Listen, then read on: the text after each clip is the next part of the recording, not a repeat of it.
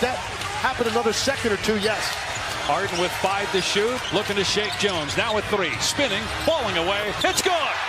James Harden.